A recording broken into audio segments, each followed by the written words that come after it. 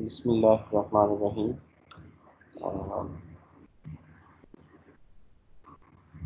Dear students जैसा कि हमने लास्ट मीटिंग में डिसाइड किया था कि will discuss the contents on Friday और फिर till you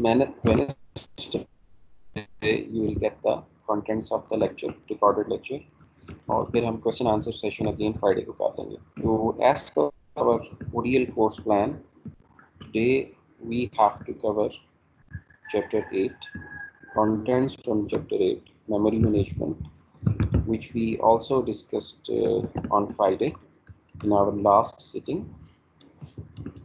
तो इसमें हमने बेसिकली आइडिया दिया था as a general as a layman non technical overview के मेमोरी uh, से क्या मुराद है रिसोर्सेज क्या होती हैं और बाइंडिंग किसे कहते हैं एट्सट्रा इसमें काफ़ी सारी जर्नल लाइफ एग्जाम्पल्स के साथ हमने इसको डिस्कस किया था लास्ट टाइम तो आज हम टेक्स्ट बुक से इसको थोड़ा सा टेक्निकली कवर अप करेंगे।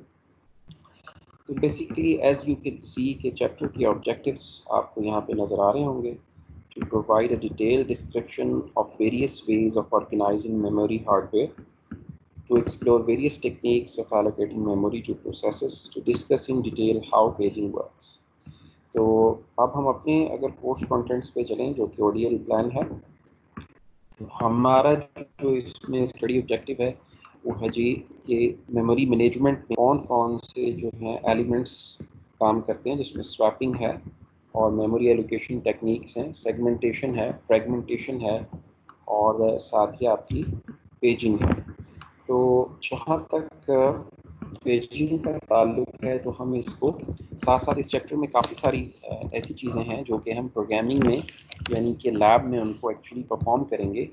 फॉर एग्ज़ाम्पल इसमें डायनामिक लिंक लाइब्रेरीज का डिस्कशन है इन दिस चैप्टर उसे हम एक्चुअली प्रोग्राम करेंगे अपनी लैब में पार्ट थ्री में से जो हम विंडोज़ प्रोग्रामिंग कर रहे हैं। तो हम वहाँ पर उसको देखेंगे। इसके साथ साथ आपके पास पेजिंग का कॉन्सेप्ट है। सो पेजिंग में भी हम जब मल्टीपल डॉक्यूमेंट इंटरफेस और स्वैपिंग करेंगे प्रोग्राम करेंगे कर्नल की विंडोज़ में पार्ट थ्री में तो हम वहाँ पे इसको आगे लेकर चलेंगे। सो so, हमारा इसमें आज जो मेजर थर्स्ट होगा वो इसमें से 8.1 होगा जो कि हम पहले भी डिस्कस कर चुके हैं दैट इज़ बैकग्राउंड फिर हम स्वैपिंग और उसकी टेक्निक्स को देखेंगे फिर 8.3 यानी कि कॉन्टिगस मेमोरी एलोकेशंस और फिर सेगमेंटेशन की तरफ़ पढ़ेंगे और फाइनली हम यहाँ पे पेजिंग की डेफिनेशन करके उसका टच लेके देन वील एंड और फिर हम आगे कुछ कंप्यूटर आर्किटेक्चर की डिस्कशन है जो कि हम इसमें ऑमिट करेंगे we won't be covering at this stage so paging को से फिर हम दोबारा लैब में आगे लेके चलेंगे पार्ट थ्री में, जहाँ पे हमने इसे प्रोग्राम भी करना तो लेट्स स्टार्ट द लेक्चर तो मेमोरी का आइडिया तो आप सबको है और हमने फ्राइडे को डिस्कस भी कर दिया था। इसमें उसमें कुछ बेसिक हार्डवेयर दिया हुआ है जो कि आप आईसीटी सेमेस्टर वन में कर चुके हैं। जैसा कि मैंने सेमेस्टर के स्टार्ट में डिस्कशन की थी कि ये टेक्स्ट बुक जो है, ये सिर्फ़ कंप्यूटर साइंस मेजर्स नहीं, बल्कि इलेक्ट्रिकल इंजीनियर्स मैकेनिकल इंजीनियर्स और ऐसे लोग जो एज अ माइनर रजिस्टर करते हैं, इस कोर्स को, उनको भी ये एज टेक्स्ट बुक रेफर होती है। तो इसमें काफ़ी सारी बेसिक्स भी कवर अप होती हैं। जैसे आपने चैप्टर वन टू में भी देखा था कि इसमें उन्होंने इवन इनपुट आउटपुट डिवाइसेस के बारे में भी आपको डिटेल से बताया हुआ था। कंसीडरिंग कि it's a general purpose text book which is also recommended for major students as well as जो कि माइनर के स्टूडेंट्स होते हैं।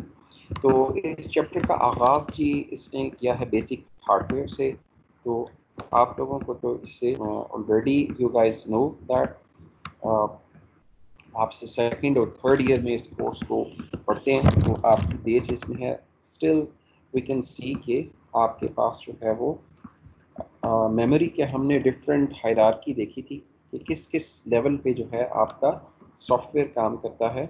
और जहाँ पे एक्शन होगा, वहाँ पे आपको ऑब्वियसली मेमोरी की ज़रूरत पड़ेगी। यू हैव टू सेव तो यहाँ पे इसने बेसिकली सीपीयू का ज़िक्र किया है और सीपीयू अगर direct central processing unit main memory से कनेक्ट हो तो obviously there will be some stall क्योंकि CPU की speed is much faster than main memory as you guys know that from ICT course तो फिर इसमें स्टॉल स्टॉलिंग जो है वो अकर होगी। लिहाजा सीपीयू के साथ अटैच उसके रजिस्टर्स होते हैं और फिर उसके बाद आपके पास कैशे मेमोरी होती है which is much faster than the main memory के you guys know this from the ICT and the assembly course as well so हम थोड़ा सा हार्डवेयर uh, की डिटेल को क्विकली कवर अप करते हुए आगे चलते हैं।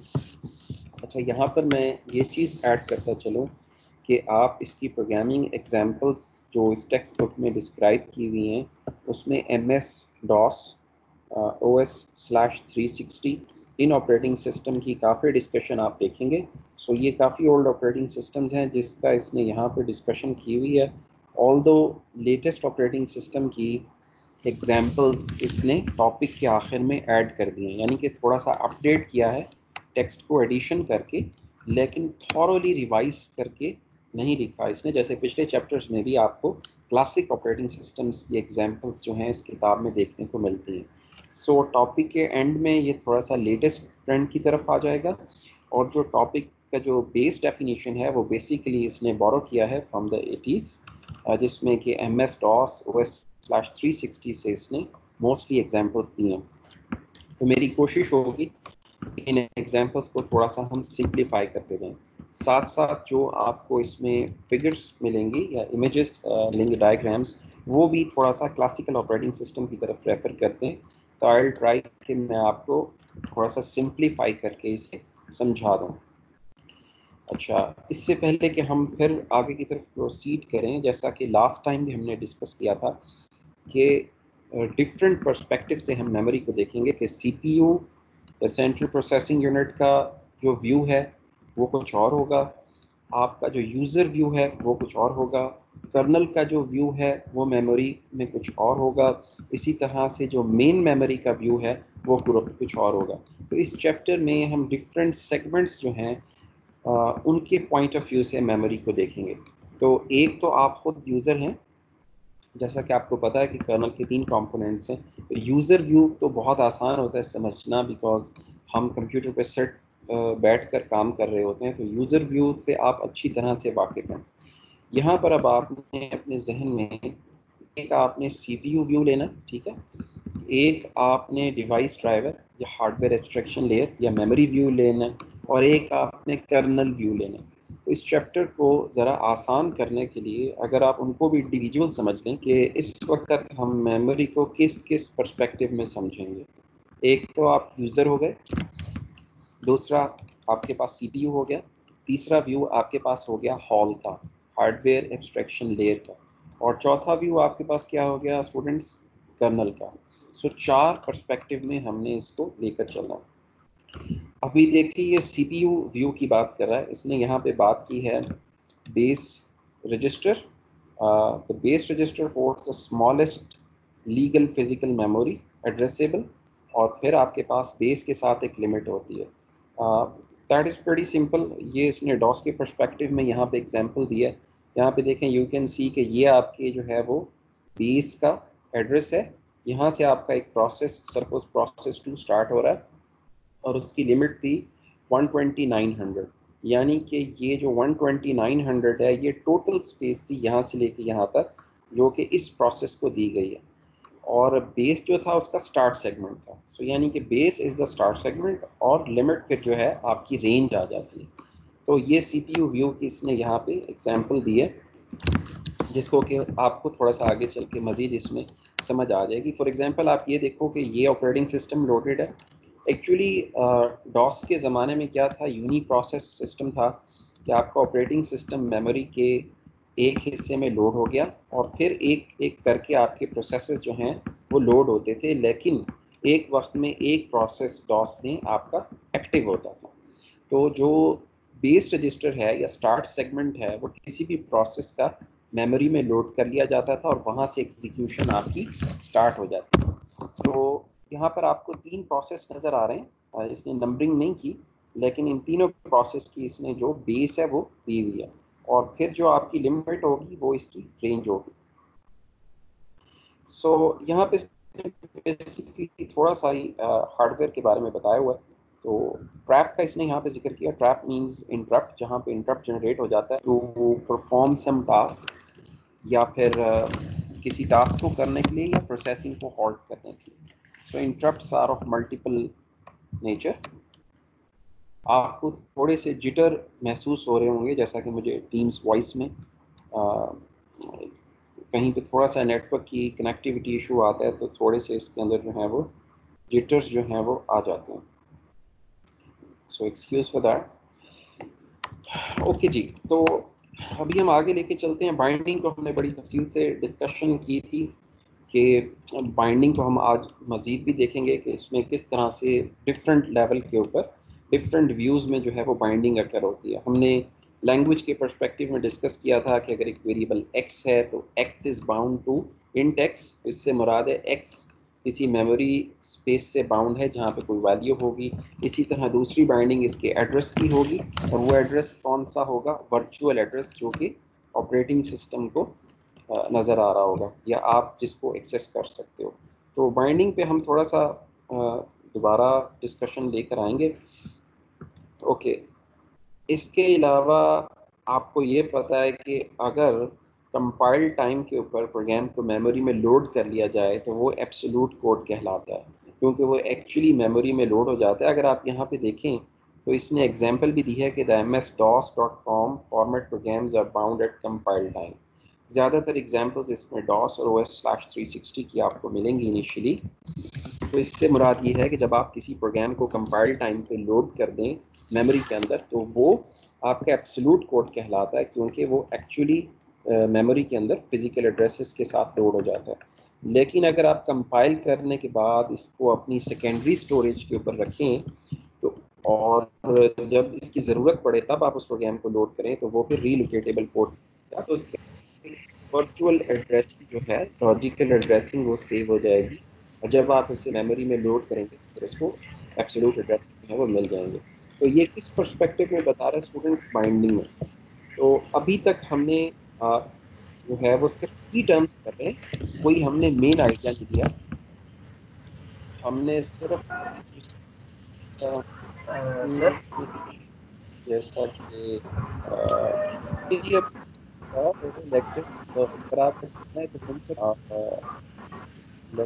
तो ये रिकॉर्डिंग के लिए आप कर रहे हैं कि ये लेक्चर जी जी। रिकॉर्डिंग के लिए कर रहा हूँ? ये आपको रात तक अवेलेबल हो जाएगा। अगर आप सुनना चाहें तो सुन सकते हैं इसलिए मैंने ओपन कर दिया है ज्वाइनिंग अगर आप सुनना चाहें तो सुन सकते हैं। पार्ट ये क्वेश्चन आंसर हम इंशाल्लाह फ्राइडे को करें सही होगा ठीक है थैंक यू तो अभी तक स्टूडेंट्स हमने देखे इसमें जो इसकी की टर्म्स थी सिर्फ़ वही हमने इसके अंदर देखे जैसा कि स्टॉल था कैशे था बेस या लिमिट रजिस्टर था। From the M S DOS perspective trap को हमने डिस्कस किया लेकिन इसमें कोई मेजर आइडिया 8.1 में नहीं है। तो इसी तरह बाइंडिंग में इसने सिंपल बाइंड का बताया है जिसको हम पहले भी देख चुके हैं। एब्सोल्यूट कोड और रीलोकेटेबल कोड ये दो और की टर्म्स थी जो कि इसने यहाँ पर डिस्कस की हैं। So yet we haven't started any major concept in this chapter. 8.1 is about the nitty gritty and basics which you uh, most of you already know. तो यहाँ पे इसमें आपको एक प्रोसेसिंग का डायग्राम दिया है, जो कि किसी भी लैंग्वेज में, आपने आईसीटी में या पीएफ वन में भी किया होगा। कि सोर्स प्रोग्राम जो है, वो कंपाइल होता है या अगर असम्बलर है तो असम्बल होगा, फिर उसका ऑब्जेक्ट मॉड्यूल बनेगा, फिर वो लिंक होगा लोड होकर फिर एग्जीक्यूट होगा। तो इसमें एक्चुअली जैसा कि मैंने अभी लेक्चर के शुरू में भी आपको बताया कि जो आपके पास ये टेक्स्ट बुक जो है वो जहाँ मेजर के लिए है सी स्टूडेंट्स के लिए, वहाँ माइनर्स के लिए भी है, जो डिफरेंट दूसरे प्रोग्राम्स में स्टूडेंट्स पढ़ते हैं। लिहाजा ये जो कुछ 8.1 है बेसिकली ये बेसिक्स उन बच्चों के लिए ज़्यादा हैं। You guys know all these basic terms तो की टर्म्स हम करते चलते हैं, क्योंकि थोड़ा सा कंटेक्चुअल कोर्स है की टर्म्स को हमें देखना होगा। इसने देखें, यहाँ पे logical versus physical address space की डेफिनेशन दी है। और डेफिनेशंस इस पूरी किताब में आपको कंटेक्चुअल मिलेंगी। सो हम इस राइटर का कॉन्टेक्स्ट देखते हैं, इसमें क्या दिया an address generated by the CPU central processing unit is commonly referred to as a logical address ठीक है जी?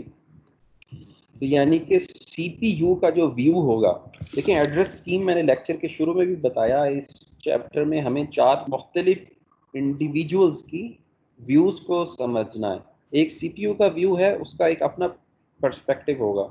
एक यूज़र का व्यू है, जो आप बैठे हो कर्नल के यूज़र लेयर पे आपका अपना व्यू है। कोर कर्नल का अपना व्यू है मेमोरी का। और फिर डिवाइस ड्राइवर यानी कि मेमोरी इट उसका एक अपना व्यू है। तो अब यहाँ पे ये डेफिनेशन देखो आप logical versus physical address space an address generated by the CPU यानी कि जो सीपीयू का व्यू है that is commonly referred as a logical address whereas an address seen by the memory unit अब इससे आप हार्डवेयर एब्स्ट्रक्शन लेयर भी कह सकते हैं, जहाँ पे आप हॉल की बात करोगे हॉल क्या होता है? डिवाइस ड्राइवर तो वहाँ पे वो हॉल का व्यू होगा। तो मेमोरी यूनिट का जो व्यू है, उसे हम that is the one loaded into the memory address register of the memory is commonly referred to as a physical address तो ये इसने एक बेसिक टर्म दिया जो आपको पहले भी पता है। तो ये देखेंगे, इसने यहाँ पे व्यू भी शो कर दिया कि सीपीयू के व्यू में सपोज़ आपके पास 346 आ रहा है और दूसरा आपको मेमोरी मैनेजमेंट यूनिट एमएमयू हम इस्तेमाल करते थे डिस्क ऑपरेटिंग सिस्टम के अंदर। आजकल हम इसको बोलते हैं X M M standard memory manager जो विंडोज़ में काम करता है। तो X M M is a part of kernel ये मैं ऐड करता चलूँ। सो so, इसने ये लॉजिकल एड्स यानी कि सी पी यू व्यू दिया है। फिर देखें मेमोरी मैनेजमेंट यूनिट क्या कर रहा है? ये एक अपना व्यू जनरेट कर रहा है। और ये एक्चुअली इन दोनों की कम्बिनेशन से ट्रांसलेट होगा फ़िज़िकल एड्रेस में। यहाँ पर इसने एक एग्ज़ाम्पल के तौर पे इसे 14346 लिख दिया है, लेकिन हर ऑपरेटिंग सिस्टम ऐसा नहीं करता। उसका अपना एल्गोरिदम होता है, अपना वे ऑफ़ एड्रेसिंग होता है, जिसके ज़रिए वो वर्चुअल एड्रेसेस को फ़िज़िकल एड्रेसेस में ट्रांसलेट करता है। जो विंडोज़ के अंदर एक्स जब आप देखोगे यू विल सी कि वहाँ पे एक्सटेंडेड मेमोरी मैनेजर की रूटीन्स जो हैं, वो अपने virtual address space hardware abstraction layer या डिवाइस ड्राइवर को दे देती हैं और हॉल जो है वो फिर उसे फ़िज़िकल एड्रेस में ट्रांसलेट करता है। सो so, इसने यहाँ पे ये लॉजिकल और फ़िज़िकल एड्रेस की डेफिनेशन दी है। साथ एक और की टर्म आ गई जी एम एम यू जिसका मौजूदा नाम X M M extended memory manager है। माजी में the DOS and Windows 1.0 we use to call it M M U तो शायद तो ये ये की टर्म्स इसने यहाँ पे इस्तेमाल किए so relocation register it's a routine of the M M U that is use for the kernel view CPU logical address that is used for the CPU view जिसे हम लॉजिकल एड्रेस कहते हैं और मेमोरी या physical address जो कि memory का view है वो फ़िज़िकल एड्रेस कहलाता है। सो so, इसमें तीन टर्म्स हमने आ, इसके अंदर ये जो है आ, हमने इसमें रेफर कर हैं। थोड़ा सा आगे लेके चलते हैं। अभी हम की टर्म्स को ही डिस्कस कर रहे हैं बेटा। तो डायनामिक लोडिंग अब इससे भी आप वाकिफ़ हैं। जैसा कि मैंने कहा 8.1 इस बेसिकली आपको ये बातें आप, आपकी नॉलेज में हैं। आप सी की प्रोग्रामिंग करके आए हो। कंप्यूटर की बुनियादी यूनिट्स आपने पढ़े हैं। लेकिन थोड़ा सा चलें, आपका रिवाइज हो जाएगा। हम की टर्म देखते जाते हैं। तो आपके पास एक तो स्टैटिक लोडिंग होती है और एक आपके पास डायनामिक लोडिंग होती है। To obtain better memory utilization we can use dynamic loading uh, जो कि बहुत ही इंपॉर्टेंट पार्ट है। गुज्त 25-26 साल से जितने भी ऑपरेटिंग सिस्टम्स आ रहे हैं वो डायनेमिक लिंकिंग के बगैर काम नहीं कर सकते। डॉस के ज़माने में ये था कि पूरा का पूरा ऑपरेटिंग सिस्टम एक फ्लॉपी डिस्क के ऊपर हुआ करता था जो कि आपने इंसर्ट करनी है कंप्यूटर में। और कंप्यूटर ने उस फ्लॉपी ड्राइव से रीड करके सारा ओएस मेमोरी में लोड कर देना, यानी स्टैटिकली लिंक करके ओएस की रूटीन्स डाल देंगे but later on dynamic linking means कि ऑपरेटिंग सिस्टम जो है वो कन्वेंशनल स्टोरेज पे अवेलेबल है। उसका कुछ एसेंशियल पार्ट मेमोरी में लोड होता है और जब आपको एक्स्ट्रा कंपोनेंट्स की ज़रूरत पेश आती है तो वो भी लोड कर ली जाती हैं, लबाई के दावत okay ji. Now what is dynamically linked libraries जो कि almost in every operating system एक या दूसरे नाम के साथ ये मौजूद हैं। माइक्रोसॉफ्ट विंडोज़ में इसे डीरल्स कहते हैं, जिससे आपने प्रोग्राम भी करना है लैब के अंदर इन सून पार्ट टू को हम सून कवर अप करेंगे। टाइमर को करने के बाद we will go to the third part तो डायनेमिक लिंक लाइब्रेरीज में क्या होता है कि आपकी लाइब्रेरीज जो हैं वो कंपाइल करके तो रख दी जाती हैं कन्वेंशनल स्टोरेज पे। और एक जो डी एल लोडर होता है, जिसे आप लिनिक्स में यूजुअली स्टब के नाम से जानते हैं स्टब से मुराद आपका जो है वो बाइंडर है। With dynamic linking stub is included in the image for each library routine reference the stub is a small piece of code that indicates how to locate the appropriate memory resident library routine यानी कि stub help करता है आपके operating system को कि जब किसी D की ज़रूरत है तो उसको लोड किस तरह से करना है मेमोरी के अंदर। तो ये स्टेप का काम है basically so static static linking is a thing of a pass as far as operating system kernel is concern and we'll see dynamic link libraries इनशाला थ्री और फोर वीक्स लैब में हम इसको प्रोग्राम करेंगे by hand and you will see के Windows के colonel की extension किस तरह से लिखी जा सकती हैं। अगर आपको याद हो स्टूडेंट्स फ़र्स्ट चैप्टर में जो माइक्रोसॉफ्ट विंडोज़ थी, उसकी डेफिनेशन थी Windows is a collection of D okay ये डी जो हैं, ये शेयर्ड लाइब्रेरीज होती हैं। ज़ाहिर है, अगर ये शेयर्ड ना हो तो आप इन्हें फिर एक्सेस नहीं कर सकते।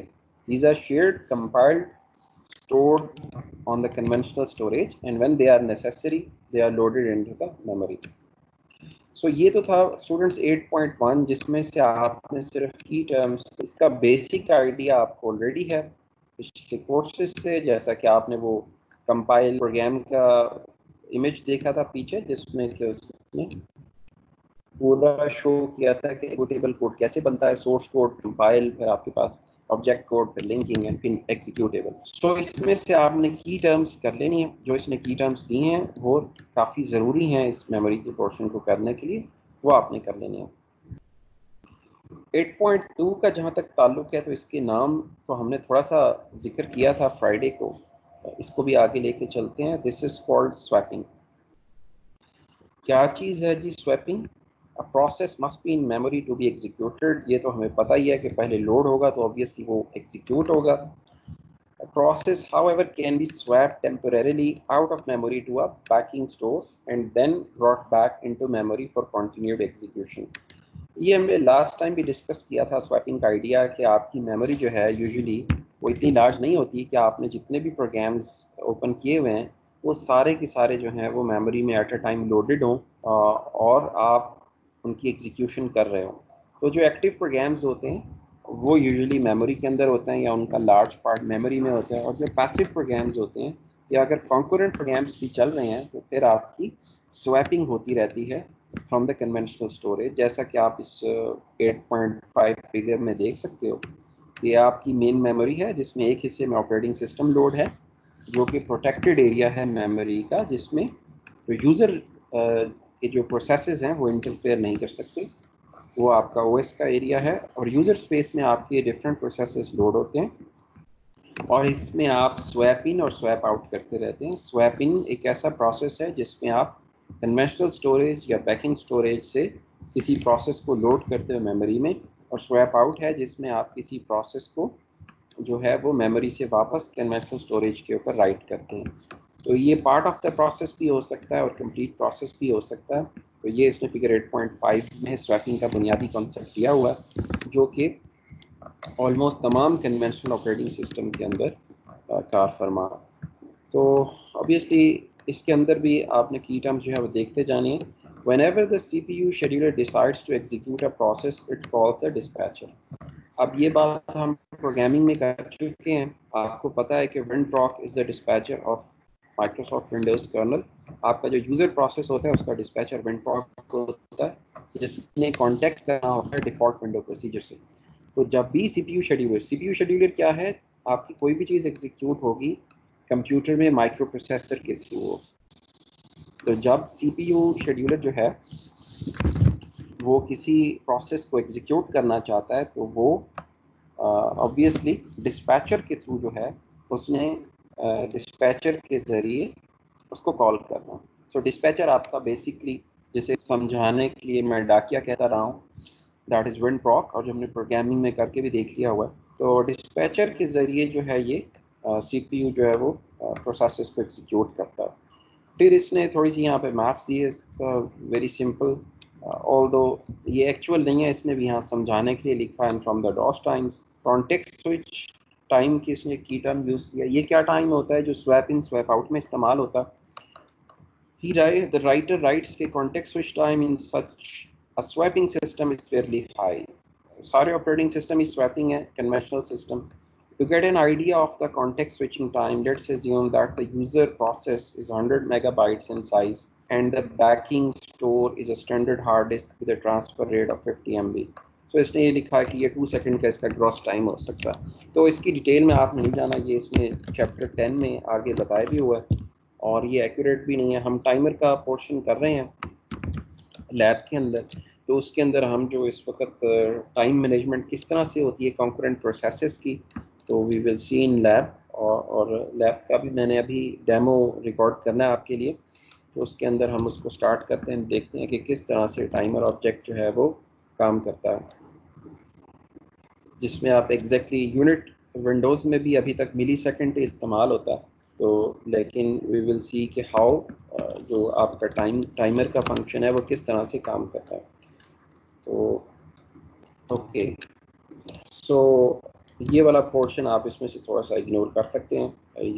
नेक्स्ट पैराग्राफ है because this is bit outdated और हमने लैब में इसको कवर भी कर लेना है कि किस तरह से टाइमर का फ़ंक्शन कर्नल में माइक्रोसॉफ्ट विंडोज़ जो है वो मैनेज करता है और उसका क्या काम है और उसकी क्या अफादियत है। जब स्वैप इन स्वैप आउट होगा तो हम ऐसी स्वैपिंग को डबल बफरिंग कहेंगे, ठीक है? यानी कि स्वैप इन भी हो रहा है और स्वैप आउट भी हो रहा है। इनपुट आउटपुट हो रही है तो वो डबल बफरिंग कहलाएगा। हाँ अब देखिए 8.2.2 ये इसने अब ऐड किया ये जो आपको पिछले पैराग्राफ नज़र आ रहा है, यहाँ पे इसने एग्जाम्पल्स और की टर्म्स जो हैं वो क्लासिकल ऑपरेटिंग सिस्टम की इस्तेमाल किए हैं। हाव एवर एट जो है, ये कुछ साल पहले पुराने एडिशंस में नहीं था, ये राइटर ने अभी ऐड किया है। और वो राइटली बता रहा है कि मोबाइल फ़ोन्स के अंदर आपकी स्वैपिंग जो है वो मिनिमल होती है। क्योंकि उसमें कन्वेंशनल तो हार्ड ड्राइव तो अटैच नहीं होती और फ्लैश मेमोरी जो है वो बड़ी लिमिटेड सी होती है, वो अटैच होती है। और उसका लाइफ टाइम भी जो है वो एक लिमिटेड होता है कि इतने thousand of times read and write जो है वो आप उस पर आकर कर सकते हो। तो फिर क्या तरीका होता है? वो इसने यहाँ पे बताया हुआ है instead of using swapping when free memory falls below a certain threshold iOS जो है वो एप्लीकेशंस को वॉल्टरी क्विट करने को बोलता है। और यही चीज़ एंड्रॉयड भी है, वो उसको फॉलो करता है। Android writes its application state to flash memory so that it can be quickly restarted तो स्टेट आप सेव कर सकते हैं process there are different mechanisms और फिर आप उसको उसी जगह से रीस्टार्ट कर सकते हैं। जैसा कि हमने हाइबरनेशन की बात की थी, उसी तरह से हम ये काम भी कर सकते हैं। तो ये थोड़ा सा था जी स्वैपिंग के बारे में। बहुत आसान सा कॉन्सेप्ट है। तो ये 8.2 में पहला कॉन्सेप्ट था कि जब आपकी जो मेमोरी है, क्योंकि वो सारे के सारे प्रोसेसेस को एट ए टाइम होल्ड नहीं कर सकती तो आपको स्वैप इन स्वैप आउट करना पड़ता है। तो ये हमारे लेक्चर का पहला आइडिया था, जो कि हमने आज की क्लास में डिस्कस किया। 8.1 की टर्म्स थी, और वो ऐसा 8.1 था, जिसका आइडिया आपको काफ़ी हद तक पहले से भी है। की टर्म्स हमने डिस्कस की। 8.2 में स्टूडेंट्स हमने स्वैपिंग को डिस्कस किया, ठीक है? तो 8.2.1 जो है, जैसा कि मैंने कहा इसने जो की टर्म्स हैं, वो ज़रा क्लासिकल ऑपरेटिंग सिस्टम्स की इस्तेमाल किए लेकिन 8.2.2 इसने थोड़ा सा रिसेंटली नए न्यूअर एडिशन में, ये लेटेस्ट एडिशन है, उसमें इसने ऐड किया राइटर ने। बहरहाल कॉन्सेप्ट जो है दैट रिमेन द सेम जो स्वैपिंग है, तमाम कन्वेंशनल ऑपरेटिंग सिस्टम्स में होती है, मैं यहाँ पे ऐड करता चलूँ। एम्बेडेड ऑपरेटिंग सिस्टम्स में या तो इसकी ज़रूरत ही नहीं होती, जैसे फायर अलार्म का सिस्टम है डिजिटल वॉच है, आपकी माइक्रोवेव ओवन है एसी है उसमें इसकी ज़रूरत नहीं होती या फिर अगर सेल फ़ोन है तो उसमें इसको मिनिमल रखा जाता है। ओके जी अब हमने की टर्म्स भी देख ली इसकी बुनियादी स्वैपिंग का आइडिया भी ले लिया स्टूडेंट्स अब जो 8.3 है ये मेमोरी एलोकेशन है बुनियादी तौर पे। इसने कॉन्टिगस का वर्ड तो ऐड किया है लेकिन ये इसमें काफ़ी सारे टेक्निक्स को डिस्कस करेगा। सो अगर हम इसको मेमोरी एलोकेशन कहें तो ये ज़्यादा बेहतर होगा। सो so, 8.3 में अब ये मेमोरी एलोकेशन की बात कर रहा है कि मेमोरी प्रोसेसेस को एलोकेट किस किस तरह से हम कर सकते हैं। सो so, ये बड़ा इंटरेस्टिंग जो है चैप्टर है लेट सी कॉन्टिगस से मुराद होती है साथ साथ contiguous memory allocation for example अगर आपने क्लासरूम में स्टूडेंट्स ने बैठना है चेयर्स पे तो अगर आप कंजेकटिव चेयर्स इस्तेमाल करें और एम्प्टी स्पेसेस ना छोड़ें तो वो कॉन्टीगस सेटिंग मैकेनिज़्म होगा ठीक है? तो जिस तरह से क्लासरूम में चेयर्स की स्पेस है स्टूडेंट्स की, को, के बैठने के लिए, इसी तरह से डाटा को स्टोर करने के लिए कंप्यूटर में मेमोरी की स्पेस है। अगर हम डाटा को साथ साथ फिल करेंगे that there is no empty space तो वो कॉन्टीगस मेमोरी एलोकेशन कहलाएगी। It's very simple term okay ji memory protection क्या होती है? जैसा कि मैंने अभी पहले आपसे डिस्कस किया था कि जो ऑपरेटिंग सिस्टम का एरिया है, वो प्रोटेक्टेड है यूज़र से। प्रोसेस वन मिसाल के तौर पे अगर इस वक्त ये एडोब पी खुला हुआ है तो मीडिया नीचे आप देखें और शायद आपको बाकी एप्लीकेशंस नज़र नहीं आएँगी। गूगल क्रोम भी है मीडिया प्लेयर भी ओपन है तो वो एडोब पी की यूज़र स्पेस को एक्सेस नहीं कर सकते।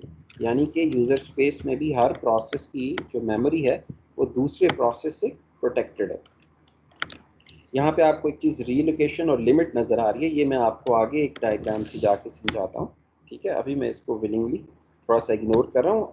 ऑल दो मैं इसको अभी पीछे थोड़े से डिफरेंट नेम से आपको दिखा कर आया हूँ at point one point one में जहाँ पे हमने बेस और लिमिट की बात की थी। सो so, इसके ऊपर हम दोबारा आते हैं। सो मेमोरी प्रोटेक्शन जो है वो बेसिकली uh, आपकी प्रोटेक्शन है कि एक एप्लीकेशन की दूसरी एप्लीकेशन से और कर्नल स्पेस या ऑपरेटिंग सिस्टम की स्पेस की यूज़र स्पेस ओके ये आपको डिस्पैचर हाईलाइट नज़र आ रहा होगा. When the CPU scheduler selects a process for execution the dispatcher loads the relocation and limit registers with the correct values अभी देखिए वेंट प्रॉक का बहुत ज़्यादा काम है. इसने यहाँ पे लफ्ज़ इस्तेमाल किया है सी पी यू शेड्यूलर और बेसिकली हम मॉडर्न ऑपरेटिंग सिस्टम्स में इसे ऑपरेटिंग सिस्टम इट्सल्फ या कर्नल बोलते हैं. तो कर्नल के अंदर आपको याद हो अगर एक मैसेज क्यू होती है, queued and non queued message आपने लैब में पढ़े थे, ठीक है? तो वो ऑपरेटिंग सिस्टम कर्नल की जो मैसेज प्रोसेसर है वो जो queued and non queued message का पोर्शन है, वो हैंडल करता है कि किस प्रोसेस को हार्डवेयर रिसोर्सेज मिलेंगे। लेकिन क्लासिकल ज़बान में हम इसे सीपीयू शेड्यूलर कहा करते थे। जैसा कि आपको याद हो, मैंने आपको इसी थ्योरी के कोर्स के शुरू में बताया था कि इन अर्लियर टाइम्स आपकी एक hardware machine for example IBM का मेन फ्रेम कंप्यूटर बनाए और उसके लिए एक लैंग्वेज लिखती जाती थी, ठीक है? तो इसीलिए वो सी पी शेड्यूलर की टर्म्स ज़्यादा कॉमन है क्लासिकल में। अभी आपने जो है वो लैब में करके भी देख लिए हैं messages you guys know that कि विंड पॉक में जो डिस्पैचर है, उसका जो दूसरा पैरामीटर है, वो यूएंट मैसेज होता है। तो यही वो मैसेज क्यू है, जिसके ज़रिए आपके मैसेज जो हैं प्रोसेस होते हैं, वो मैसेज क्यू आपकी प्रोग्राम एंट्री पॉइंट में होती है और मैसेज का नंबर जो है वो डिस्पैचर ही लेके जाता है। तो dispatcher is is the wind proc okay so coming back to memory protection so अच्छा अब यहाँ पे थोड़ा सा ट्रांजी ट्रांजिएंट का वर्ड है, इसको आप इसको आप देख लीजिए। The relocation register relocation register क्या था? जो कि एम के अंडर काम करता था।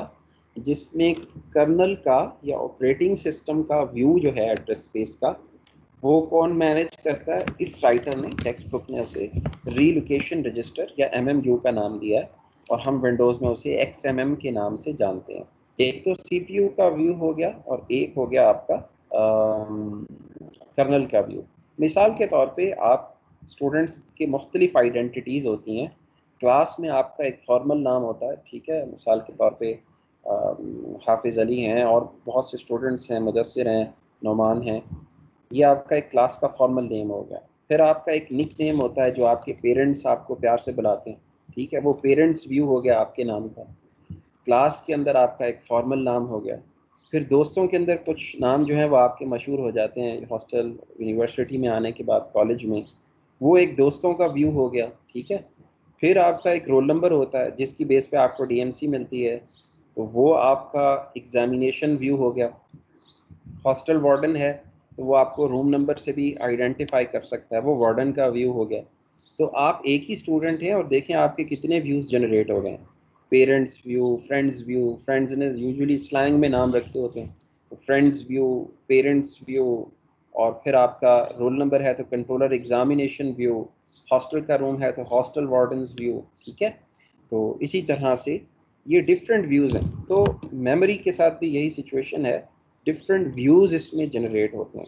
तो सीपीयू का एक अपना व्यू है जिसे हमने लॉजिकल एड्रेस का नाम दिया था जो आपका M M U memory management unit या जिसे एक्स एम एम कह लीजिए एक्सटेंडेड मेमोरी मैनेजर या जिसे आप रिलोकेशन रजिस्टर कह लीजिए या ऑपरेटिंग सिस्टम कर्नल व्यू कह लीजिए उसका एक आ, अपना जो है वो व्यू है जिसे हम लॉजिकल एड्रेस कहते हैं तो वो किसके थ्रू होता है? रीलोकेशन रजिस्टर के ज़रिए। रीलोकेशन रजिस्टर स्कीम जब रीलोकेशन रजिस्टर का नाम आए तो आपके जहन में आ जाना चाहिए O S view kernel view M M U view X M M view ठीक है? लॉजिकल एड्रेस आए जहाँ पे, जैसा कि आप इधर देखो तो ये सी पी यू व्यू है, ठीक है? कि घर में आपको निक से बुलाते हैं, आप अपनी एग्ज़ाम्पल लें, आपको जल्दी समझ आ जाएगा। The relocation register scheme provides an effective way to allow the operating systems size to change dynamically. This flexibility is described in many situations. For example, the operating system contains code and buffer space for device drivers. अच्छा ये देखें मैंने आपको lab के शुरू में भी और लेक्चर्स में मल्टीपल टाइम्स बताया था कि विंडोज़ 98 का hardware abstraction layer was part of the operating system earlier Unix systems के अंदर भी it was part of the operating system HAL और तभी आपको मैंने मिसाल भी दी थी कि अगर विंडोज़ 98 में कहीं पे सीडी स्टक हो जाती थी मूवी देखते हुए या डाटा कॉपी करते हुए तो आपको कंप्यूटर रीस्टार्ट करना पड़ता था। क्यों? क्योंकि आपका कर्नल हॉल्ट हो जाता था। तो ये जो लाइन इसने यहाँ पे लिखी है for example the operating system contains ये if a device we were okay okay, यहाँ पे इसने ये जो लाइन लिखी है ये ये बताना चाह रहा है कि डिवाइस ड्राइवर्स की जो स्पेस होती है ये here you can see if a device driver or other operating system service is not commonly use we do not want to keep the code and data in memory so अभी hall की layer जैसा हमने शुरू में देखा था is separate from kernel तो लेकिन क्लासिकल ऑपरेटिंग सिस्टम्स में it was part of the kernel और उसकी जो मेमोरी थी वो कर्नल की मेमोरी कंसीडर होती थी. एनी अभी हम डिवाइस ड्राइवर के, के अगर वर्ड को काट हजफ करके पढ़ें if operate if an operating system service ये ज़्यादा इस तरह से पढ़ना if an operating system service is not commonly use we do not the code and data in memory as we might be able to use that space for other purposes तो such code is sometime called transient operating system code it comes and goes as needed यानी कि transient memory programs या transient memory code ऐसा code कि जब उसकी ज़रूरत हो, आप उसे लोड करें और जब ज़रूरत ना हो तो उसे मेमोरी से बाहर कर दें। फॉर एग्जांपल आपने कोई डॉक्यूमेंट प्रिंट किया तो प्रिंटर का ड्राइवर एक्टिव होता है, वो मेमोरी में लोड होता है, ठीक है? Although it's a service of HAL लेकिन वो भी ट्रांजिएंट मेमोरी हो गई और फिर जब उसका काम ख़त्म हो जाता है तो इट डी लोड्स तो इसी तरह से, यानी कि कोई ऐसी सर्विस जिसकी आपको ज़रूरत हो, आपने उसे कॉल किया और जब ज़रूरत ख़त्म होगी तो वो मेमोरी से डीलोड होगी अच्छा ये जो है आपको मेरा ख्याल है लिमिट और रीलोकेशन रजिस्टर की मैं अब वो इमेज आपको शॉर्टली इसमें शो करता हूँ कि रीलोकेशन का तो आपको पता ही है लिमिट का भी आपने ऊपर देखा है, लेकिन इससे मैं आपको एक टेबल अभी आगे आएगी उससे मज़ीद ये जो है क्लियर हो जाएगा। ट्रैप का वर्ड याद रखिएगा। ट्रैप से मुराद होता है इंटरप्ट ये क्लासिकल वर्ड है जो इंटरप्ट के लिए यूज़ होता था ट्रैप ट्रैप का मतलब इंटरप्ट होता है। ये पॉजिटिव भी हो सकता है, यानी कि फॉर एग्जांपल आपकी कोई कॉल आ गई कंप्यूटर के ऊपर स्काइप के ऊपर तो एक ट्रैप जनरेट हुआ, या आपकी प्रोसेसिंग हॉल्ट हो गई तो भी ट्रैप जनरेट होगा। तो जिस तरह ब्लू स्क्रीन आ जाती थी विंडोज़ एक्सपी में अक्सर that is an operating system trap in classical language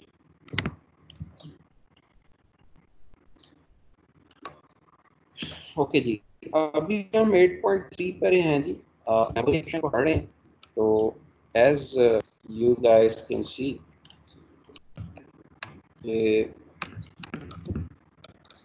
हमने मेमोरी एलोकेशन की जो बेसिकली की टर्म्स की हैं मेमोरी प्रोटेक्शन को डिस्कस किया है डिस्पैचर जो कि हम ऑलरेडी प्रोग्राम भी कर रहे हैं, उसको हमने इसमें देखा ट्रांजिएंट वर्ड को देखा है। और अभी हम आते हैं मेमोरी इसने पार्टीशनिंग की डिस्कशन किया 8.3.2 में। तो इसको हम देख लेते हैं। Memory allocation now we are ready to turn to memory allocation one of the simplest methods for allocating memory is to divide memory into several fix size partitions fix size partitions classical operating systems में होती थी आजकल नहीं होती। मिसाल के तौर पर अगर आपके पास 100 मेगाबाइट्स मेमोरी है uh, यूज़र स्पेस के लिए कर्नल स्पेस को निकाल कर तो आप 10-10 एम की 10 पार्टीशन बना दें या आप 50-50 एम की दो पार्टीशन बना दें। और आप ये पॉलिसी कर दें कि जो भी प्रोसेस यूज़र स्पेस में लोड होगा, उसको एक फ़िक्स पार्टीशन मिल जाएगी। चाहे वो वन के का हो या वन जी का हो irrespective of that all it is very simple to write code of an for an operating system kernel जहाँ पे आप मेमोरी मैनेजर किसी ऑपरेटिंग सिस्टम का लिखते हो तो पार्ट जो फिक्स पार्टीशन है इट इज़ क्वाइट सिंपल लेकिन ये ये ज़्यादा यूज़फुल नहीं है। तो नावर डेज़ जो है आ, वो मल्टीपल पार्टीशन मेथड इस्तेमाल होते हैं जिसे हम वेरिएबल पार्टीशन भी कह सकते हैं। कि depending on the requirement depending on the nature of task to be perform by an operating system partition our memory uh, into different chunks or holes. जैसा कि इसमें यहाँ वर्ड होल का लिखा है तो डिफरेंट चंक्स में अपनी मेमोरी जो है उसे पार्टीशन कर सकते हैं। सो वेरिएबल पार्टीशन जो है वो यूजुअली इस्तेमाल होता। ये देखें इसने ऊपर O S slash three sixty की एग्जांपल दी है फिक्स पार्टीशन में I B M O S slash three sixty तो ये एम एस डॉस की ही दूसरी शक्ल है O S slash three sixty जो कि माइक्रोसॉफ्ट ने प्रोग्राम किया था। आ, इसमें केस स्टडी भी आपको याद होगी किडल की जो मैंने दी थी कि बुनियादी तौर पे एम एस डॉस जो है, उसके काफ़ी सारे फीचर वो किडल के जो ओ एस था, उससे लिए गए थे, खासतौर पर O S slash three sixty में। तो फिक्स पार्टीशन जो है, वो इसके अंदर इस्तेमाल होती थी मल्टीपल पार्टीशन मेथड इस ऑपरेटिंग सिस्टम में जिसकी इसने एग्ज़ाम्पल दी हुई है। So now is variable partition are used जो कि depending on the nature of the program आप जो है, वो बनाते हैं। और डायनामिकली आप जो है स्टोरेज जो है, वो एलोकेट करते हो, ठीक है? और इसने यहाँ पे लिखा है कि तीन तरह की टेक्निक्स होती हैं जो बुनियादी हैं। The fundamental techniques are three although NABARD is the memory manager is quite complex of an operating system which use combination of a lot of strategies and algorithms ठीक है? कम्बिनेशन ऑफ़ मल्टीपल स्ट्रेटजीज इस्तेमाल करके जो है वो memory manager जो conventional या जो एम्बेडेड डिवाइस ऑपरेटिंग सिस्टम्स हैं, उन सब के लिए मेमोरी मैनेजर जो है, वो किसी एक टेक्निक पे काम नहीं करता। Merger of more than one techniques जो हैं, वो इसमें इस्तेमाल होती हैं।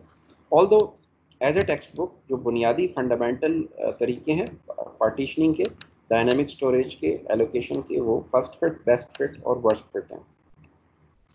फ़र्स्ट फिट जैसा कि इसके नाम से ज़ाहिर है कि जो फ़र्स्ट आपके पास पार्टीशन होगी that is big enough to hold certain user process तो आप वो अलॉट कर दोगे। बेस्ट फिट में क्या होगा जी? As its name states allocate the smallest partition that is big enough यानी जो भी यूज़र प्रोसेस आएगा, आपने स्मॉलेस्ट पार्टीशन जो है वो अलॉट कर है। लेकिन इसके लिए क्या होगा? We must search the entire list तो आपको यहाँ ज़ाहिर है पूरी लिस्ट जो है वो सर्च करना होगी। Until unless it is ordered by size याद रखें कि कोई भी एक टेक्निक इस्तेमाल नहीं होती एज एस हर ऑपरेटिंग सिस्टम जो है अदर देन ओपन सोर्स वो अपना एक्सएमएम लिखते हैं और वो प्रोप्राइटरी होता है। उसमें मल्टीपल चीज़ों का मल्टीपल टेक्निक्स का इस्तेमाल होता है। वर्स्ट फिट क्या है जी? Allocate the largest partition user process आया तो आप जो भी फ़र्स्ट आपके पास लार्जेस्ट पार्टीशन है, पूरी लिस्ट में, वो आप अलॉट कर देते हो मेमोरी में से। लेकिन इसके लिए भी आपको अंटायर डिस्क सर्च करना होगी until unless it is sorted so तीन बुनियादी टेक्निक्स हैं, जिनको इंटरमिक्स करके depending on the nature of the operating system and the task it has to perform इनको इस्तेमाल किया जाता है। ये क्या थी जी स्टूडेंट्स ये हम पढ़ रहे थे, मैं आपको बताता चलूँ मेमोरी एलोकेशन और हम टॉपिक ये क्या कर रहे थे? ये टॉपिक 8.3 था इसका नाम कॉन्टिग्यूस मेमोरी एलोकेशन था। Although, it is all about memory allocation as you can see, we are discussing a lot of different techniques तो इसी के अंदर ही स्टूडेंट्स जो 8.3.3 है इट इज़ अबाउट फ्रेगमेंटेशन यानी हम मेमोरी एलोकेशन के अंदर ही अब हम फ्रेगमेंटेशन को जो है वो डिस्कस कर रहे हैं। Okay okay ji both the first fit and best fit strategies for memory allocation suffer from external fragmentation ये नई टर्म आ गई थी एक्सटर्नल फ्रेगमेंटेशन क्या होती है? ऊपर जो दो टेक्निक्स थी फ़र्स्ट फिट और बेस्ट फिट ये जब आप अडॉप्ट करोगे तो एक्सटर्नल फ्रेगमेंटेशन होगी और एक्सटर्नल फ्रेगमेंटेशन क्या है? External fragmentation as process are loaded and remove from memory the free memory space is broken in to little pieces external fragmentation exist when there is या definition आ रही है external fragmentation की when there is enough total memory space to satisfy a new user request a process request in the user space, but the available spaces are not contiguous. So external fragmentation आप समझ गए होंगे कि आपके पास space तो है नए process को एकोमोडेट करने के लिए लेकिन वो बड़ी स्कैटर्ड है स्पेस यानी एक एक बाइट दो दो बाइट पूरी मेमोरी में स्कैटर्ड है एक कंबाइंड चंक नहीं है कॉन्टिगुअस मेमोरी नहीं है जहाँ पे आप उसको लोड कर सको। सो so, अभी आगे चल के हम इसको देखेंगे। Nowadays it's not a big problem क्योंकि हम एक्चुअल एड्रेसेस पे तो किसी प्रोसेस को लोड नहीं करते। जो आपका कर्नल है कर्नल स्पेस उसने हार्डवेयर एब्स्ट्रक्शन लेयर को प्रोसेस पास कर देना विद रिक्वेस्ट फॉर मेमोरी और जो आपका डेफ इन प्रॉक है, वो जो X M M memory manager का ड्राइवर है, उसके थ्रू प्रोग्राम को डिफरेंट स्पेसेस में जो है वो लोड कर सकता है। बट अगर आप एक्चुअल एड्रेसेस पे काम कर रहे हैं, जो कि होता नहीं है nowadays then it is very difficult so okay जी, थोड़ा सा आगे लेके चलते हैं।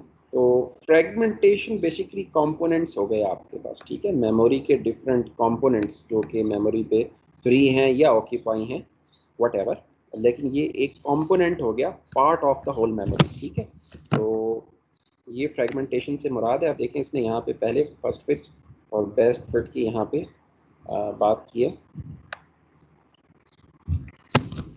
ओके बाकी इसने यहाँ पे जो स्टेटिस्टिक्स दिए हैं जैसा कि मैंने ये बताया कि ये स्टैटिस्टिक्स यूजुअली रेफर कर रहा है from I B M DOS O S slash three sixty या क्लासिकल ऑपरेटिंग सिस्टम के पॉइंट ऑफ़ व्यू से। We will see in lab कि माइक्रोसॉफ्ट विंडोज़ के अंदर uh, जो है वो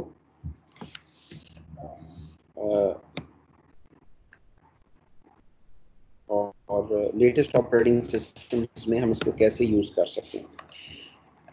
ओके जी सो so, ये जो इसने 0.5 एंड 50 परसेंट रूल दिया है may not be true for the latest distributions of Microsoft Windows like 7 8 and 10 और या आप यूबेंटो या लिनक्स की जो रेड हैट की लेटेस्ट डिस्ट्रीब्यूशंस हैं उसमें अगर आप चले जाएँ तो it may not be true may और may not be true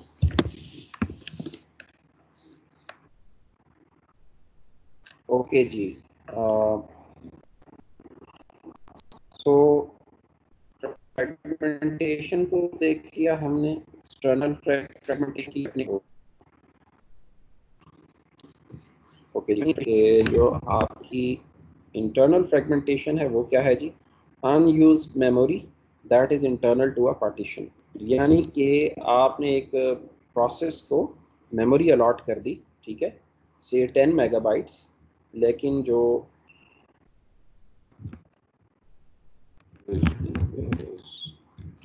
network issue again I think.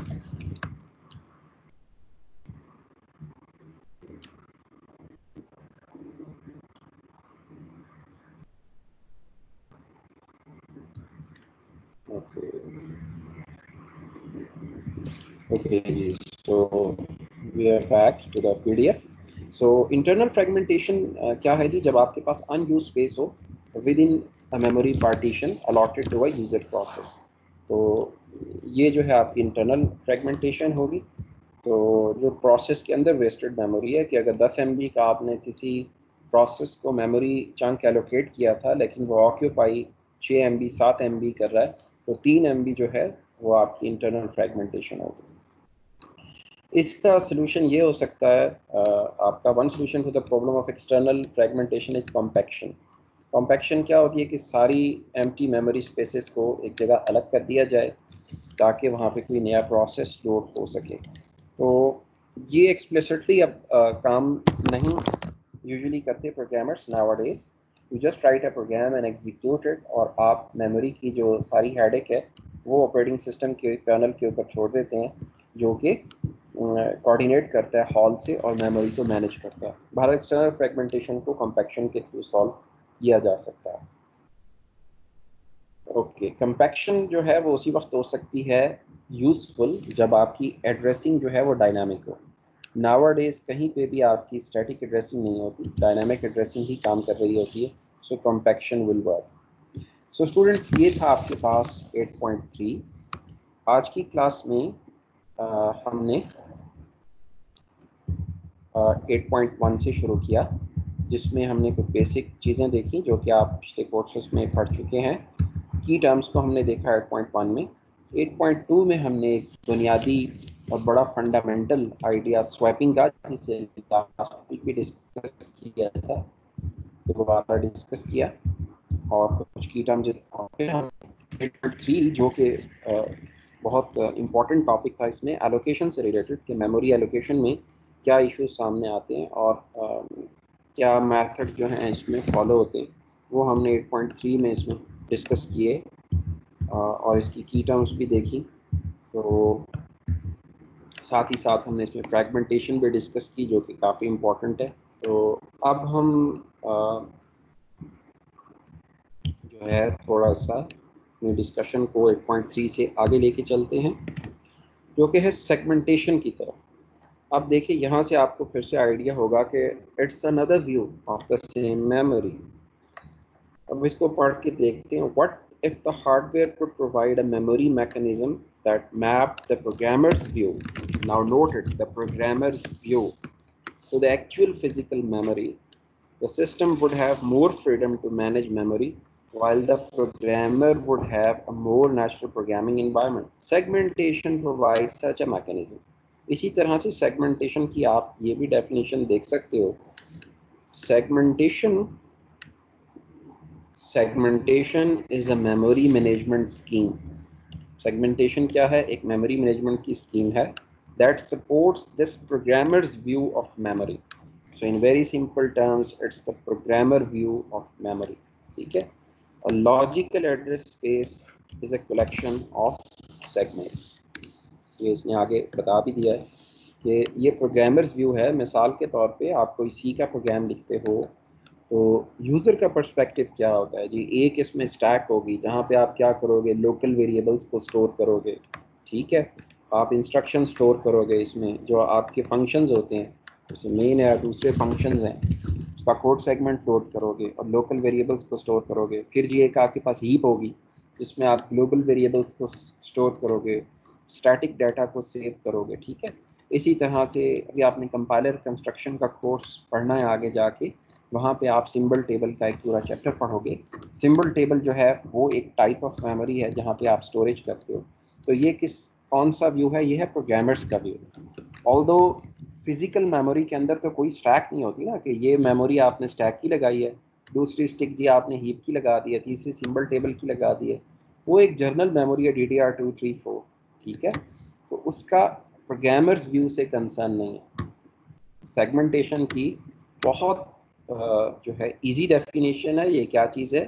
As the writer states that segmentation is a memory management scheme that supports this programmer's view of memory logical address space is a collection of segments तो segmentation basically आपकी text book के writer के perspective में it's a programmer's view of memory and these are also logical addresses okay physical addresses वही होगा जो memory view होगा। बाकी सारे लॉजिकल एड्रेसेस होंगे।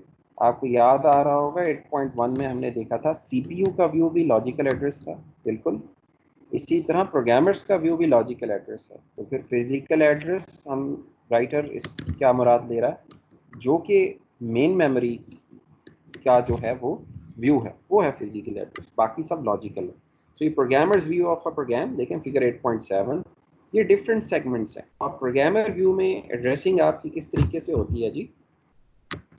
एड्रेसिंग आपकी ऐसे होनी है, यहाँ पे मेरा ख्याल है इसने वो कहीं पे दी हुई थी टेबल यहाँ से हम बड़ी आसानी से इसको समझ भी सकते थे। तो आपके पास क्या होगा जी? देखें एड्रेसिंग इसमें किस तरह से हो रही है।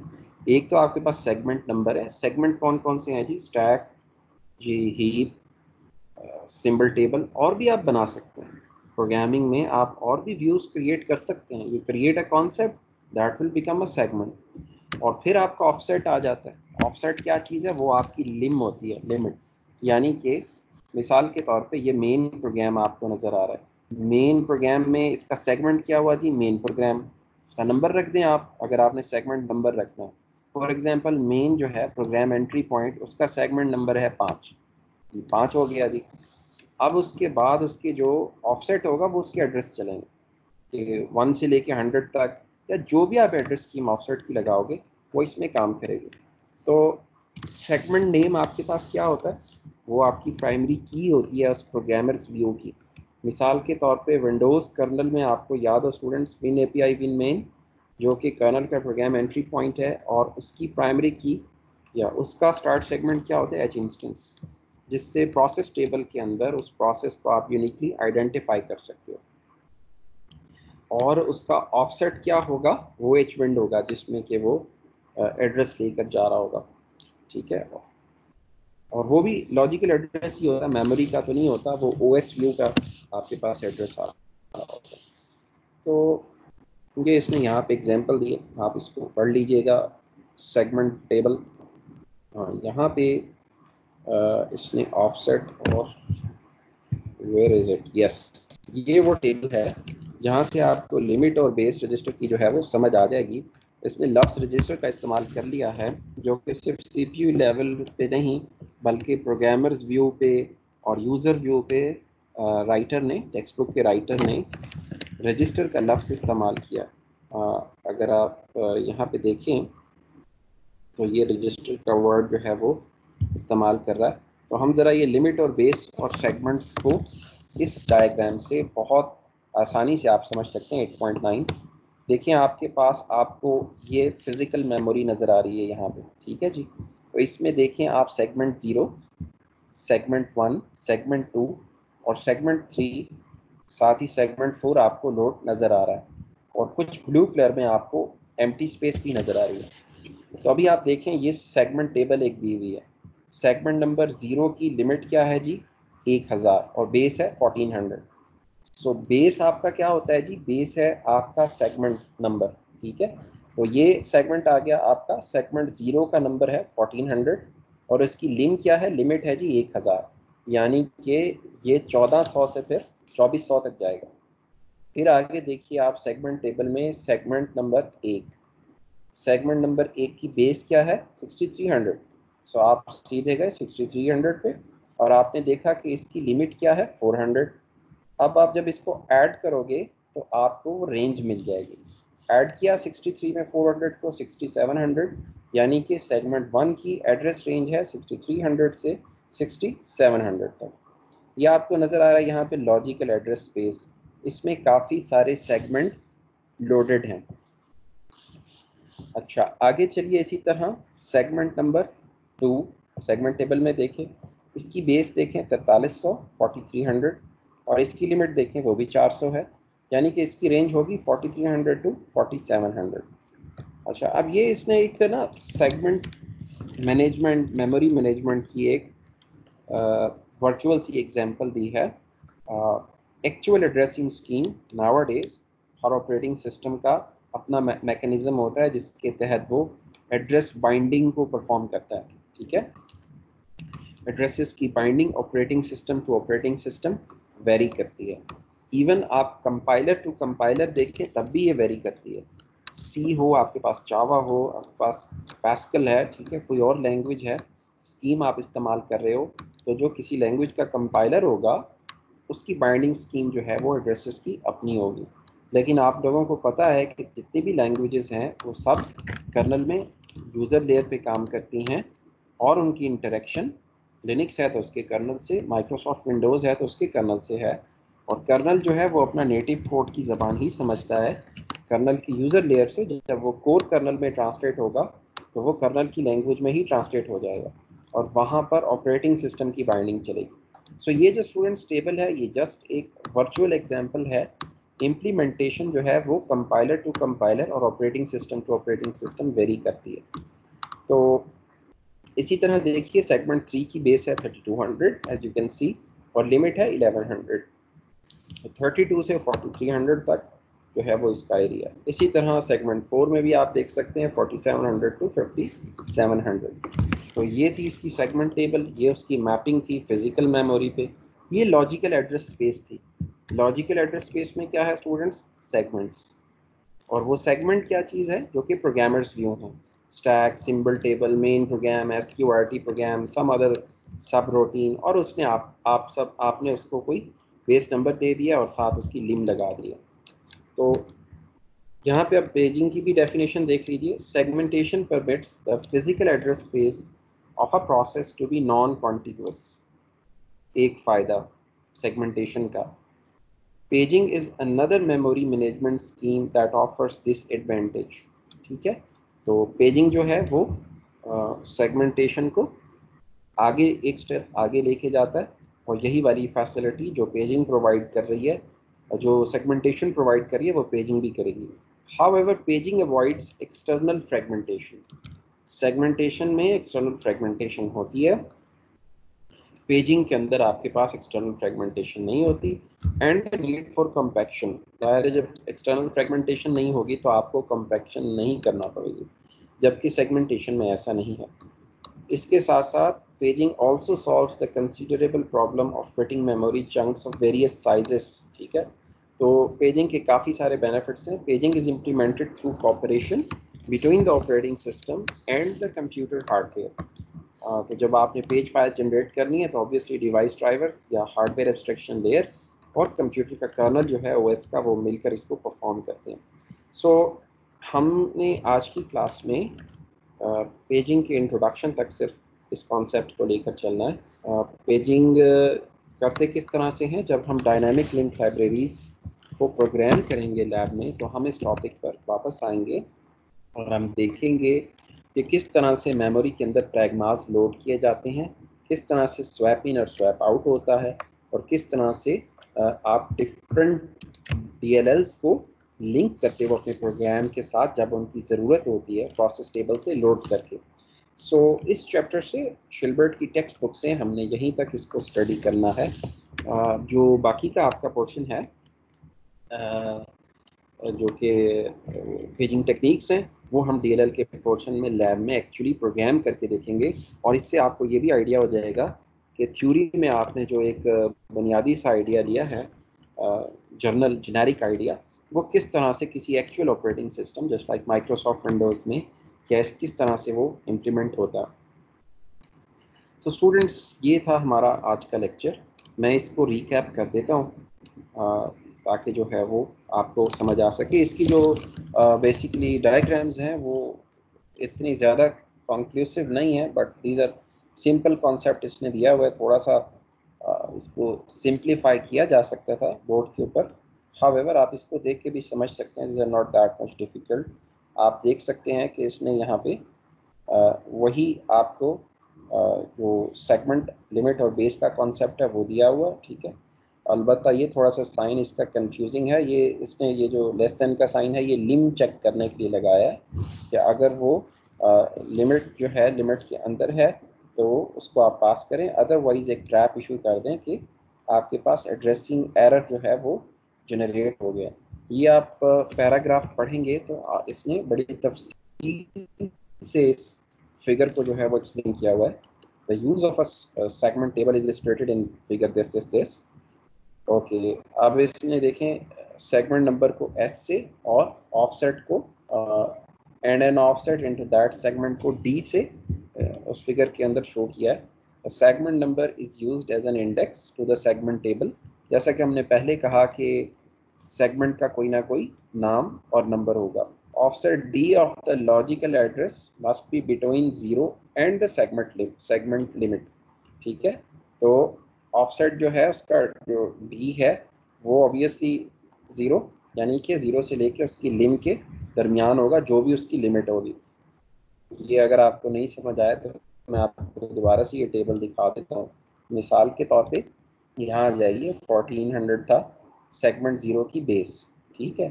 तो ये इसका क्या हो गया? सेगमेंट नंबर हो गया। सेगमेंट ज़ीरो का नंबर क्या हो गया आपके पास? फोर्टीन हंड्रेड हो गया। फिर आप देखें कि ऑफसेट जो है वो ज़ीरो से लेके ऑफसेट क्या है?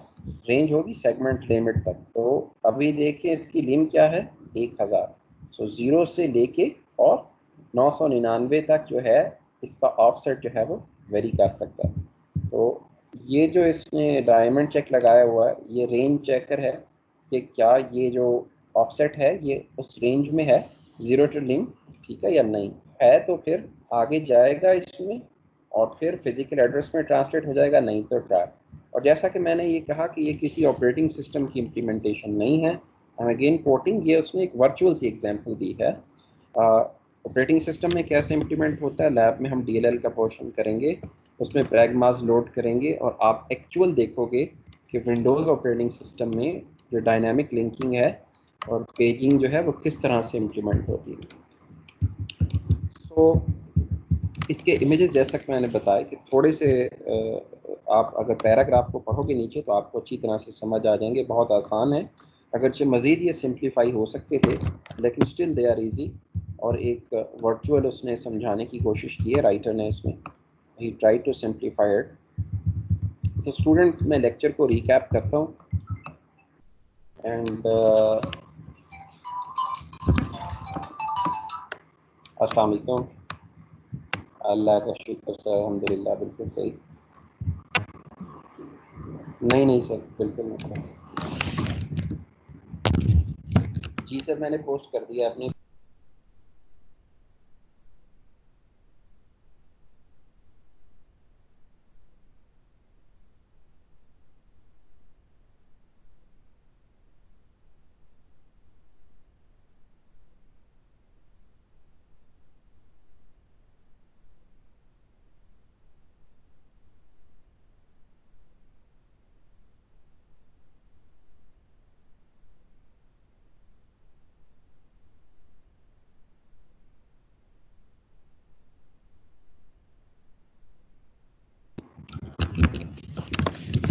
sorry for the interaction students office से कॉल थी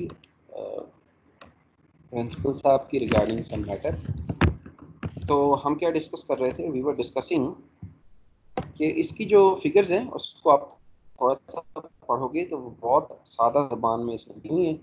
आपको समझ आ जाएगी। आई बिलीव के थोड़ा सा इन, इनको अपडेट किया जा सकता है अगले आने वाले एडिशंस में या बोर्ड के ऊपर। अकॉर्डिंग टू जो कि हम लैब में करेंगे इन तो ये मज़ीद आपको कॉन्सेप्ट सिंप्लीफाई हो जाएगा। लेकिन एट पॉइंट फोर तक इसमें बहुत बुनियादी इसने कॉन्सेप्ट दिए, जो कि आपको ऑलरेडी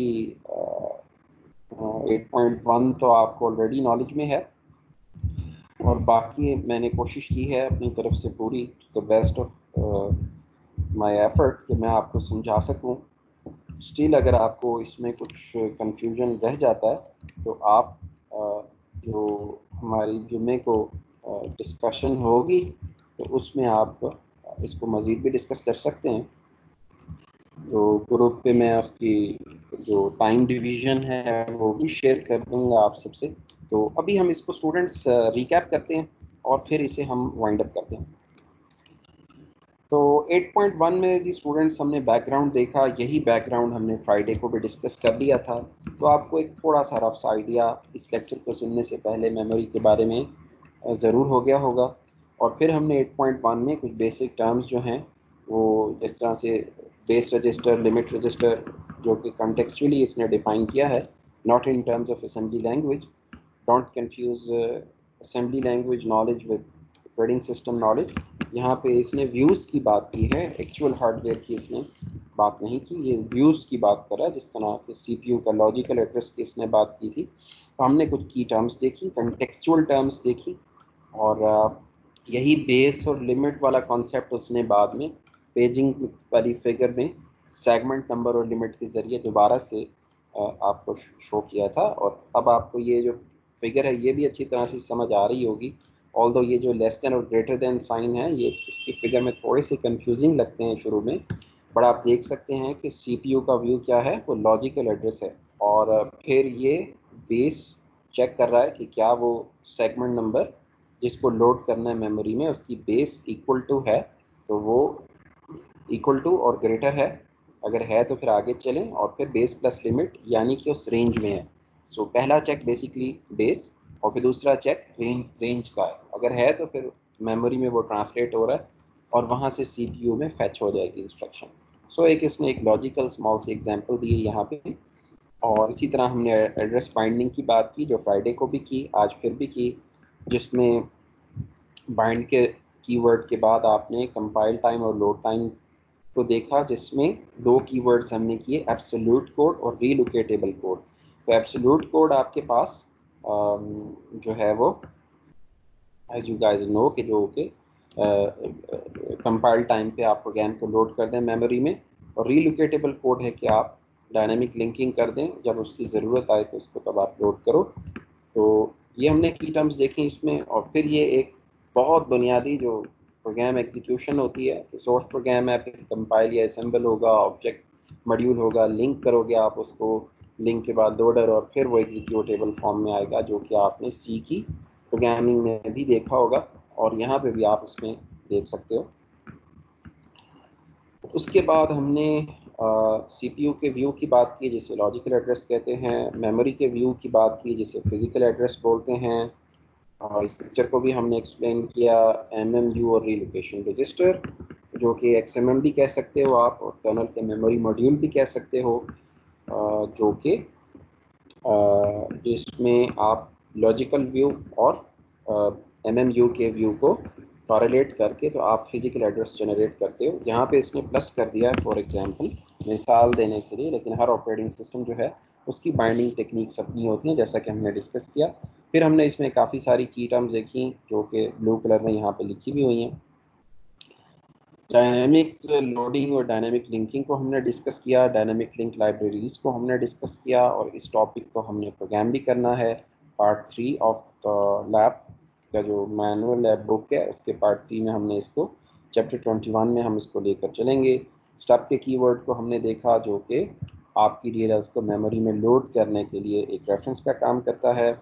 इसी तरह शेयर्ड लाइब्रेरीज आपने देखी कि ज़ाहिर डी शेयर्ड होंगी, तभी हम उसे लोड कर सकते हैं।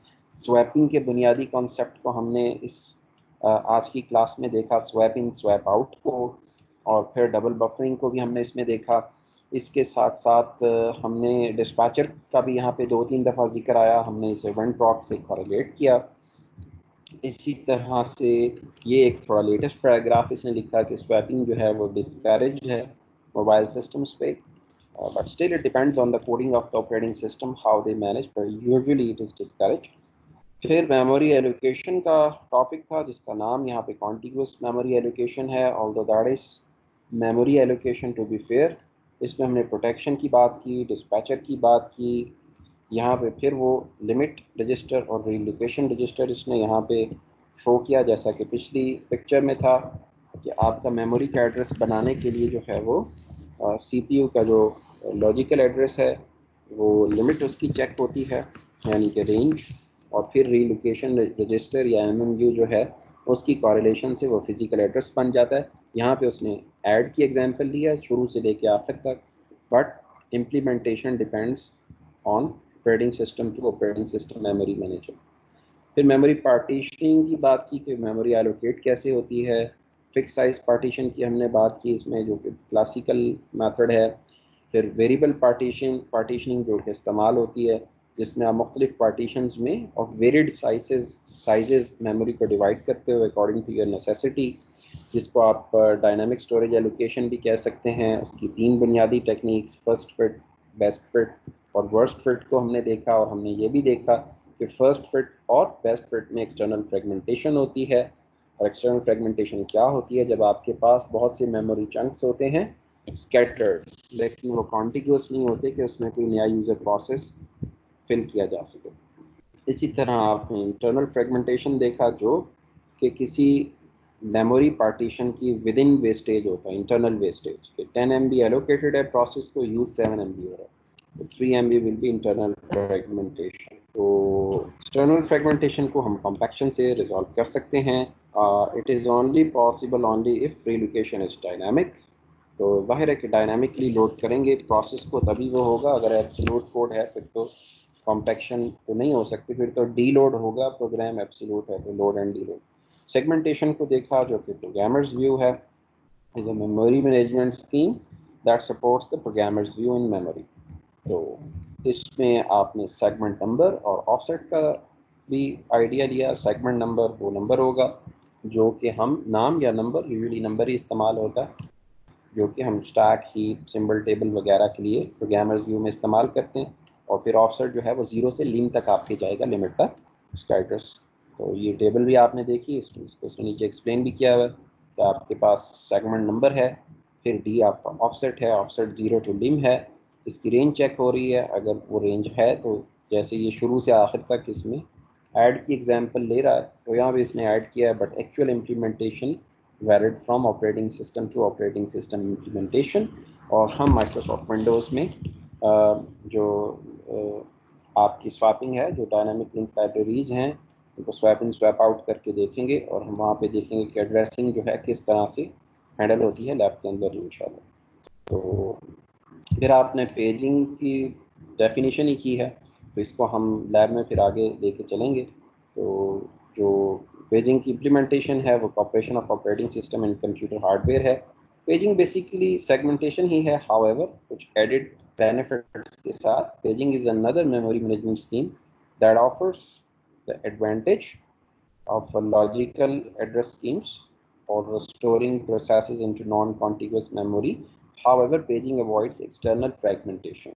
ठीक है तो उसमें कम्पैक्शन की ज़रूरत भी नहीं है तो ये था स्टूडेंट्स आज का लेक्चर मैंने अपनी तरफ़ से कोशिश की है कि आप तो जितना सिंप्लीफाई करके ओडियल में ये समझा सकूँ तो इन बाकी हम जो फ्राइडे का सेशन है, उसमें दोबारा इसको देख लेंगे। Wish you all the best किताब को एक दफ़ा पढ़ लीजिएगा। ओके जी, अल्लाह हाफ़ डियर students.